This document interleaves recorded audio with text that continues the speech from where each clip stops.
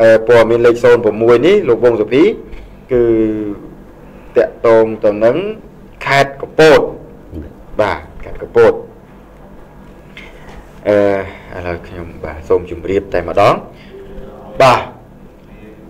ចំនួនដីធ្លីរវាងប្រជាពលរដ្ឋនិងក្រុមហ៊ុនអុកញ៉ាសូងួនបាទបាទនៅស្រុកឈូកខេត្តកំពតពលរដ្ឋប្រើកំភ្លើងស្នប់ បាញ់សន្តិសុខក្រុមហ៊ុនរបួសម្នាក់និងស្លាប់ម្នាក់សមត្ថកិច្ចកំពុងតែស្រាវជ្រាវចាត់ខ្លួន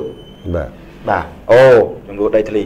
អរគុណអរលោកលោកស្រីដានីកញ្ញាទូទាំងជនខ្ញុំសូមជម្រាបពីចំណងជើងសិនហើយសូមសម្រាប់មួយផ្លែតសិនបាទជួបជាមួយនឹងម្ចាស់ឧបត្ថម្ភនៃកម្មវិធីចូលមកដល់ចូលមកវិញយើងនឹងជម្រាបជូននូវព័ត៌មានលម្អិតនិងព័ត៌មានតាមលំដាប់បណ្ដោយជាពិសេសគឺព័ត៌មានតកតងទៅនឹងរឿងខេត្តសឹងត្រែងថា